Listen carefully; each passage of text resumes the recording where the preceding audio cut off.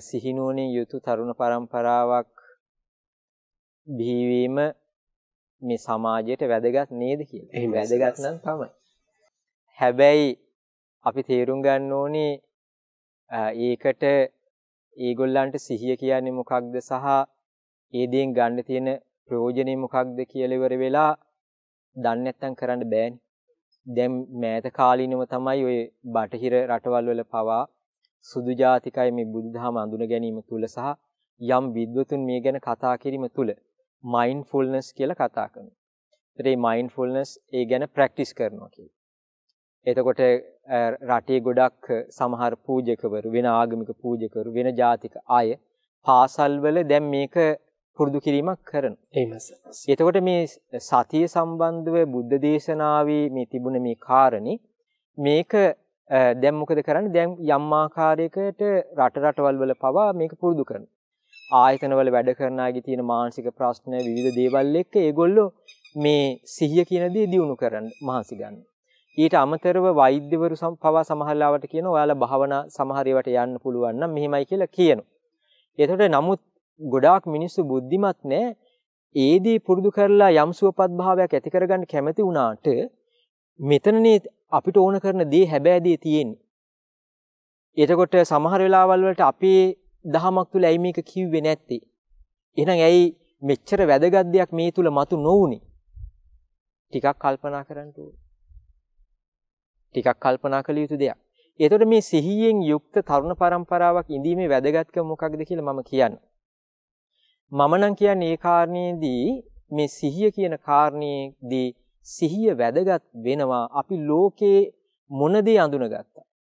අපි ගොඩාක් මහන්සි ගන්නවා අභ්‍යවකාශයට චන්ද්‍රිකා යවලා පෘථුවියේ ෆොටෝ ගන්න. ඊට පස්සේ වෙනස් ග්‍රහවස්තු සම්බන්ධව පරීක්ෂණ හොයනවා ලෝකෙ ගැන හොයනවා. මුළු ලෝකෙම දැනගත්තත් Taman ගැන දන්නේ නැත්නම් වැඩක් නෑනේ. එතකොට කල්පනා කළ බාන්ට මේ ලෝකේ ලෝකෙ ගැන හොයපු ගොඩාක් අය ඉන්න පුළුවන්. ගොඩාක් අය ඉන්න පුළුවන්. හැබැයි කල්පනා කළ බාන්ට ඔවුන්ගේ ජීවිතවල තිබුණ ආරවුල් ප්‍රශ්න සමහර පැති යම් පැති වලින් යාලා දක්ෂය වෙනවා වගේම තමයි සමහර පැති වලින් මානසික ලොකු බිඳ වැටීම් තිබුණ පුද්ගලයෝ. ඊටා දුර්වලතා තිබුණ පුද්ගලයෝ. සමහරලාට ලෝකේ වටිනා දේවල් සොයාගත්තා වුණාට පුද්ගලෙක් වැසුරු කරගන්න බෑ, කතා බහ කරන්න බෑ, ගැටෙනවා. එහෙම නැත්නම් මම දැකලා තියෙනවා සමහර වෙලාවල් වලට මම මේක කියනවට සමාවෙන්න ඕනේ. හැමෝටම කියනවා නෙවෙයි. සමහරලාවට උගත් නූගත් වෙන්න පුළුවන්, ධනවත් වෙන්න පුළුවන්, දුප්පත් වෙන්න පුළුවන්. එහෙම සනස. සමහර පුද්ගලයෝ ඉන්නවා ඊටාම මාන්නින් යුක්ත පුද්ගලයෝ. එතකොට සමහර වෙලාවල් වලට හිතා ගන්නට බෑ ඒ පුද්ගලයන්ගේ හැසිරීම් රට. සමහර වෙලාවලට ගුරුවරු වෙන්න පුළුවන්. සමහර වෙලාවට වෛද්‍යවරු වෙන්න පුළුවන්. සමහර ඉංජිනේරුවෝ වෙන්න පුළුවන්. සාමාන්‍ය රැකියා කරන අය වෙන්න පුළුවන්. අපිට පේන දෙයක් තමයි මේ පුද්ගලයන්ගේ මේ දුර්වලතා තියෙනවා. එතකොට ඇයි යා ඒක අඳුනගත්තේ නැත්තේ? ඇයි යාට ඒක තාමත් නැති කරගන්න බැරි වුණේ? ඒකට හේතුව තමයි සිහිය වැදගත්. එතකොට සිහිය යොමු කරන්න ඕනේ මොකටද? අපි වඳුන ගන්න. මම එතකොට මේ මං හිතනවා මේකදී මේ කාරණෙත් වැදගත් කියලා. ඒ කියන්නේ මෙතනදී ගැන කතා නොකලත් ඒ තමයි මේ දැන් මේ සිහිය කියන එක තමන් වඳුන ගන්නට වැදගත් කියලා කිව්වනේ.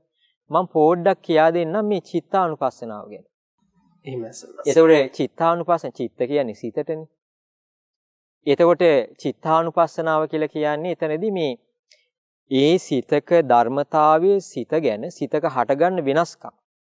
සිතක ඇති වෙන යම් ප්‍රධාන වෙනස්කම් පිළිබඳව අවබෝධ කරගන්න බුදුරජාණන් වහන්සේ කියා දීපු එක්තරා ක්‍රමවේදයක්. එහෙමයි. එක්තරා ක්‍රමවේදයක්. මේක ලෝකේ වෙන දෙයක නෑ. වෙන දෙයක නෑ. ඒතර බුදුරජාණන් වහන්සේ මෙතනදී කියා දෙන දෙයක් තමයි එකක් තමයි මේ දැන් අපි කියවනේ සිහිය අපි හිතට පිහිටනවා කියලා. දැන් එතකොට යාගේ හිතක රාගය උපදින්න පුළුවන්. එතකොට යාගේ හිතේ රාගය උපදිද්දී එයා දැනගන්නවා රාගය තියෙනවා කියලා. එතකොට එහෙනම් මේ ලෝකේ මිනිස්සු ගත්තාම මිනිසුන්ට රාගය උපදින්නේ නැද්ද? ස්ත්‍රී පුරුෂ කාටත් රාගය උපදිනවා. සත්තුන්ටත් උපදිනවා. දැන් කවුද දැනගත්ත එක්කෙනා ඔන්න මට රාගය ඇති වුණා මේ හින්දා ඇති උනේ? ඇයි මේ රාගේ මගේ හිතේ ඇති වුනේ මොකක් හින්දාද? මේක නැති කරන්න පුළුවන් එකක්ද? කුමන කාරණයක් නිසාද මේ වෙලේ මගේ හිතේ එහෙම දෙයක් හටගත්තේ? කාටත් ඇති වෙනවා. සත්තුන්ටත් ඇති වෙනවා. සතාටත් ඇති වුණා මූත් හැසිරෙන රටා තියෙන්න පුළුවන්. ඒතකොට අද මිනිස්සයා තුලත් තියෙන යම් හැඟීමක් ඇති වුණාද ඒ හැඟීම ඔහේ ඇති වෙලා පාලනයක් සංවර බවක් නැති වෙන්න පුළුවන්. එහෙමයි සනස. ඒතකොට එහෙනම් බුද්ධ ශාසනය උගන්වනවා රාග චරිතයක් ගැන. බුද්ධ ශාසනය උගන්වනවා ද්වේෂ චරිතය ගැන. බුද්ධ ශාසනය උගන්වනවා මෝහ චරිත ගැන. බුද්ධ ශාසනය උගන්වනවා රාගයත් ද්වේෂයත් මිශ්‍ර චරිත ගැන. එතකොට මේක සංකීර්ණ මේක ලස්සනට කියා දෙනවා. එහෙනම් බාණ්ඩක බුදුරජාණන් වහන්සේගේ ධර්මයේ තුල මේ මිනිස්යාව අඳුන ගන්න ඕනේ මූලික સિદ્ધාන්ත ටික කියා දෙන්නේ නැද්ද? එතකොට ඒක කරන්නේ කොහොමද? ඒක කරන්නේ මෙහෙම. එතකොට දැන් එතනදී ඔයගොල්ලන්ට මම චූටි දෙයක් කියන්නම් මේක කොහොමද අපි පුරුදු කරගන්න ඕනේ කියලා ඉවරලා. ඒ ඒකට පුංචි අභ්‍යාසයක් කරන්න ඕනේ. දැන් ওই සාමාන්‍යයෙන් කියනව නේද සතත අභ්‍යාස කියලා කියන්නේ මං හිතන්නේ යම් දෙයක් නිතර නිතර පුරුදු කිරීමනේ. ඒකට ඒක නේද? ඔව්. එතකොට සතත අභ්‍යාසය. ඒ වගේ අපිට පුළුවන් එක දෙයක් කරන්න. ඒ තමයි ඕගොල්ලන්ට දැන් තරුණ අය වෙන්න පුළුවන්, දරුවෝ වෙන්න පුළුවන්, වැඩිහිටියෝ වෙන්න පුළුවන්. වයස 60 70 වෙලා. තාම හොස්ස ළඟින් මැස්ස යන්න බෑ. තාමත් වයස 60 70 වෙලා එච්චර මෝරලා. හාමිනෙත් එක්ක රණ්ඩු අල්ලන එක තාම නවත්තලා නැහැ. දැන් අවුරුදු 40ක් 50ක් තිස්සේ දෙන්න රණ්ඩු අල්ලනවා. මේව නතර වෙලා නැහැ. එතකොට තාම වයස 60 70 මෝරපු මිනිස්සු කේස් රවුල් පැහිලා. නමුත් එයාලගේ ජීවිතේ හටගන්නා යම් දුර්වලතා නිසා නිന്ദා අපහාස ලබන දේවල් සිද්ධ වෙන්න පුළුවන් රාගය මුල් කරගෙන යම් යම් දේවල් මුල් කරගෙන අපිට සමාජීය ලෝකයේ හඳුන ගන්නට අහන්ට කරන්නට ලැබෙනවා. ඒතකොට සමාජීය දරුණු ක්‍රියා අපි දකිනවා. සමහරලාට හොඳ දක්ෂ ආයතන ගිහින් වැඩ කරන්න බෑ සුමානියයි දෙකයි අයින් වෙලා යනවා. එයාගේ දුර්වලතාවය අනිත් අයටයි දොස් කියන්නේ. ඒ ඇයි? තමන් වඳුනගත්තේ නෑ. තමන් වඳුනගත්තේ නෑ. දැන් එහෙමනම් මේ අභ්‍යාසය අපි කරන්නේ කොහොමද? ඒ තමයි තමන්ට පුළුවන් මෙහෙම දෙයක්. නිදහස් තැනක පුටුවක වාඩි වෙන්න. එහෙම නැත්නම් බිම පළඟක් බැඳගෙන වාඩි වෙන්න පුළුවන්, නිදහස් තැනක වෙන්න පුළුවන්, ඇවිදිද්දි වෙන්න පුළුවන්, වාහනේ යද්දි වෙන්න පුළුවන්, කොතනක වෙන්න පුළුවන් මේක කරන්න පුළුවන්. නිහඬ තැනකට වෙලා චුට්ටක් වාඩි වෙලා තමන්ව කවුද කියලා හොයන්න පටන් ගන්න. තමන්ව කවුද කියලා හොයන්නේ කොහොමද? සාමාන්‍ය හිත කියන එක්කෙනා තමන්ට ලකුණු දෙනවා නියමිට. නේ කොහොමද ලකුණු දෙන්නේ? ආයෙත් මම මෙහෙම කෙනෙක්, මම මේ වගේ කෙනෙක්, මම මෙන්න මෙහෙමයි බාහන පුද්ගලික කතා කරන්න ගියාම නේද? එහෙමනේ ස්වභාවය. ඒක වැරදි. ඒ හිත කියපු ඒවා ටික. ඒක මාන්නයත් එක්ක එන කාරණා. මාන්නයත් වගේම තමයි ඒක නිවැරදිව අඳුනා නොගැනීම. ඊට පස්සේ එයා දන්නේ මේ හිත හිතේ හදලා දෙන දේවල් මෙහෙමයි කරගන්න තියෙන්නේ. පොඩ්ඩක් වාඩි වෙන්න ඕන. පුටුවක හරි කමන්නේ හාන්සි පුටුවක හරි කමක් නැහැ. පොඩ්ඩක් නිහඬ පරිසරයක ඉන්න ඕන. ඉඳගෙන ඉවර වෙලා මොකද කරන්න ඕනේ? එයා හරියට ගෙදරක අපි හිතන්නේ මෙහෙම අම්මා තාත්තා ඉද්දි පොඩි බබෙක් ඉන්නවා නම් ගෙදර. ඒ බබා මොකද කරන්නේ? එයා දුවනවා, නටනවා, කෑ ගහනවා, එක එක ඒවා බිම දානවා, බෙරිහන් දෙනවා, hina වෙනවා, එක එක ඒවා කරනවා. අම්මා මොකද කරන්නේ? අම්මා හරි තාත්තා හරි එක තැනක වාඩි වෙලා ඉවර වෙලා අර පොඩි දරුවා කරන දේ දිහා බලන් ඉන්නවා. එහෙම නැත්නම් අපි මෙහෙම වාඩි වෙලා පාරක් දිහා බල බලා ඉද්දි අපිට පේනව නේද මිනිස්සු යන ගමන් කෝල් එකක. එහෙම නැත්නම් වටපිට බල බල සමහර හයියෙන් යනවා, සමහර හිමින් යනවා, සමහර බිම බලන් යනවා, සමහර අය සුසුම් හෙල හෙල යනවා. එතකොට මේ හැම කෙනෙක් දිහාම බලන්න අපි පැත්තක ඉඳන් මේ දිහා බලාගෙන ඉන්නවා. නේද? ආයතනයක වැඩ කරද්දී අරයා නම් අම්මෝ මෙහෙමයි. දැන් ඔයා කතාව පටන් ගත්තාම ක්‍රමා විතරයි තියන්නේ. එහෙම කියනවා. එතකොට මොකද වෙන්නේ මේ අපි විවිධ පුද්ගලයෝ ඉස්සර එහෙමයි. සමහර පුද්ගලයන් අඳුනගෙන අන්න අරය එනවා. එයාට පොඩ්ඩක් කතා කරද්දි කොහොමද අයියෝ එයා ඉතින් වැඩක් කළොත් මෙහිමනේ. නේ දැන් ආයතන වල බොස්ලට ඕක ගොඩක් වෙනවා සාමාන්‍ය සේවකයන්ගේ අත. එහෙමයි. කතා කරද්දි සර් මේ ආර්යා මෙහෙම සර් ගැන කිව්වනේ සර්. එතකොට මොකද වෙන්නේ මෙහෙම කියනවා. එතකොට අපි නොදෙනී අරයාගේ ගොදුරක් බවට පත් වෙනවා. එතකොට පුද්ගලයෝ එහෙම කරනවා. ඒකට මාව බොරුවට වර්ණනා කරන්න ආව නේද කියලා එහෙම කරන්න එපා. එතකොට නුවණ තියෙනවා අඳුන ගන්න තියෙන්නේ ආ මෙයා කරන්නේ මේක සත්‍යකුත් නොවෙන්න පුළුවන් මේක. අපි අනිත් අයගේ නිගමනය මත අපිව මනින්ට යන්න ඕනේ. තමන්ම හොයාගන්න. කොහොමද හොයාගන්නේ? දැන් අර විදිහට නිදහස් තැනක ඉඳගෙන අර අම්මා තාත්තා කෙනෙක් පොඩි දරුවෙක් දඟලද්දි පැත්තකට වෙලා නිහඬව බලන් ඉන්නවා වගේ. තමන්ගේ හිත දිහා බලන්න. තමන්ගේ හිත දිහා බලන්න. එතකොට මොකද වෙන්නේ මේකේ කුණු ගොඩවල් ටික ඇවිස්සিলেයි ලස්සනට. ලස්සනට ඇවිල්ලෙයි. ඔබම තේරුම් ගන්න මෙන්න මෙහෙම. දැන් ඔබ ඔය විදිහට හොඳට සිහිය පිහිටව ගද්දි තමන්ගේ හිතට දැන් මොකද වෙන්නේ? තමන්ට මතක් වෙනවා අල්ලපු gedara මිනිස්සයා. කරපු අරියාදුවක් එහෙම නැත්නම් වෙච්ච සිද්ධියක් එහෙම නැත්නම් නෝනා විවාහ කරගන්න යද්දි නැන්දම්ම දාපු සද්ද බද්ද ටිකක් මුලින් කිරපු කියපු දේවල් ටිකක් මාමණ්ඩි කියපු කයිවාරු ටික නේ තමන් එතනදී පහලට දාපු ටිකක් දැන් ඔන්න මතක් වෙනවා බාණ්ඩයක හිතට ආපු ගමන් තමන්ගේ හිතින් උපදලා දෙන දේවල් ටික හොයන්න දැන් මම දැනගස්සන්නම්කෝ මාමණ්ඩි නේ එතකොට එහෙම නැත්තම් අසවලා මට මෙහෙම කිව්වා උන්දට දන්නව මං කරන්න ඕන දේ නේද? එහෙම නැත්නම් එහා ගෙදරට වාහනයක් ගෙනාව හොඳ මුන් කොහෙන් ගේනවද දන්නේ? කුඩු බිස්නස් කරනවද දන්නේ? නේද? එහෙම හිතෙන්නේ. ඒතකොට අඳුන ගන්න තමාව. අර අල්ලපු ගෙදරයි වාහනයක් ගෙනාවම ඇයි මට මේව ඉපදුනේ? එහෙනම් එතනින් තමා අඳුරගන්න. එහෙනම් මගේ හිතේ මෙව්වත් උපදිනව නේද? එහෙනම් එයාට තුලණය කරගන්න පුළුවන් දැන්. එහෙනම් මම මේව නැති කරන්න ඕනේ. අන්න තමන්ගේ චරිතේ. එතකොට Tamanට රාග අරමුණු ඇති වෙන්න පුළුවන්. එහෙම ඉද්දි රාග අරමුණක් මුල් කරගෙන Tamanගේ සිතිවිලි දහරා උපදින්න පුළුවන්. ඒතර අඳුරගන්න Tamanගේ ස්වභාවය.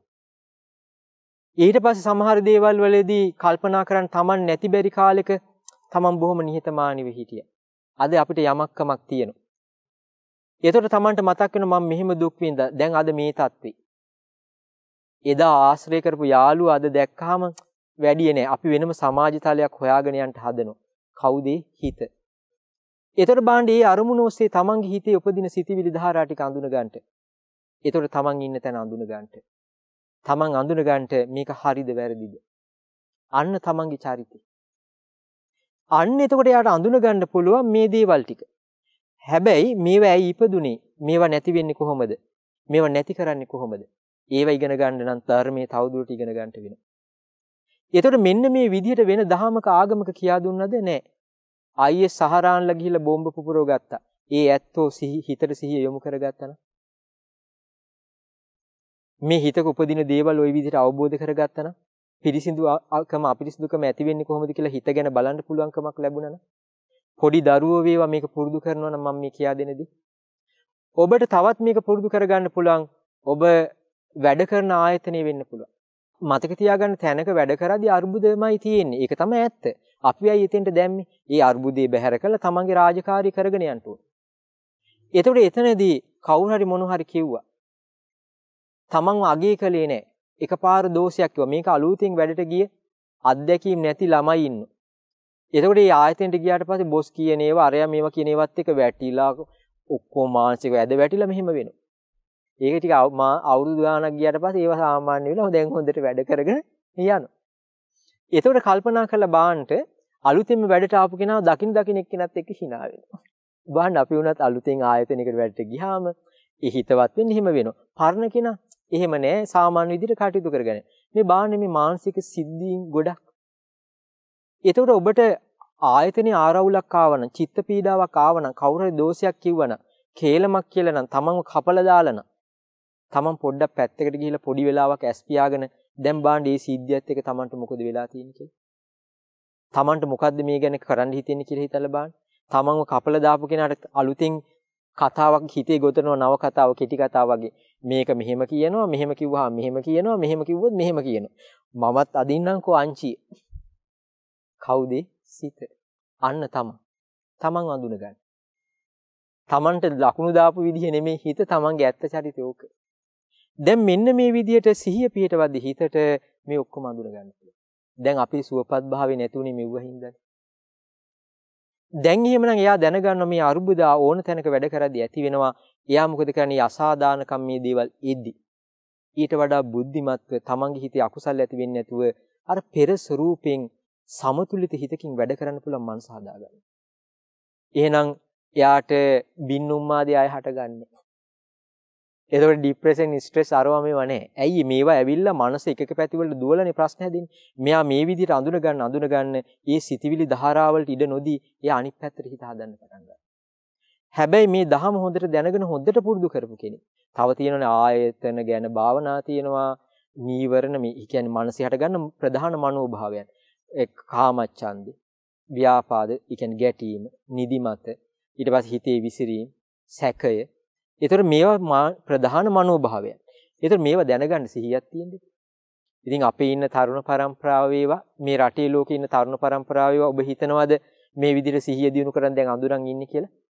ඔබ හිතනවාද වෙන ඔක්කොම ආගම් එකයි කියලාද ඔබ හිතන්නේ? වෙන ආගම් වල ওই විදිහට සිත පිහිට පිහිට සිහියෙන් මනස අඳුර ගැනීමක් තියෙනවද? එහෙනම් එතන කොහොමද උත්තරමිය බිහි වෙන්නේ? අති උතුම්මයි බිහි වෙන්නේ කොහොමද? අති උතුම්මයි බිහි වෙන්න නම් චිත්තානුපස්සනාවක් තියෙන්න ඕනේ. එහෙනම් බුද්ධ ශාසනය අති උතුම්මයි බිහි වුණා. ඒ අති උතුම් උත්තමයාණන් වහන්සේ බුදුරජාණන් වහන්සේ. එතකොට ඒ ගැන කියා දීපු දහම තමයි බුදුරජාණන් වහන්සේගේ දර්ශනය. ඒක පුරුදු කරපු උත්තමයෝ තමයි සුපටිපන්න උජුපටිපන්න වෙච්ච ආර්ය මහා සංඝරත්නේ.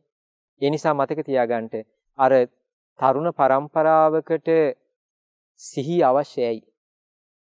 මේක අපේ අයයි පුරුදු කරගන්න නැත්තේ මේ බෞද්ධ රටේ.